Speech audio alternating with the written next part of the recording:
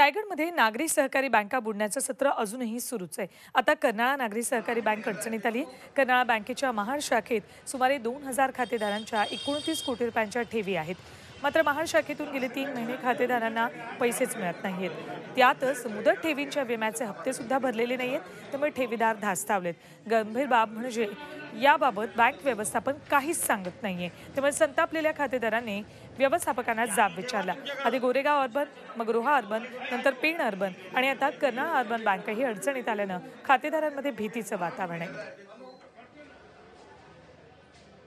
ज्या पद्धतीने आता चेअरमन बोलत आहेत ज्या पद्धतीने लोकांशी वागतायत त्याच्यावरनं आम्हा सगळ्यांना आज धास्ती पडलेली आहे की आमच्या पैशाचं पुढे नक्की काय होणार आहे.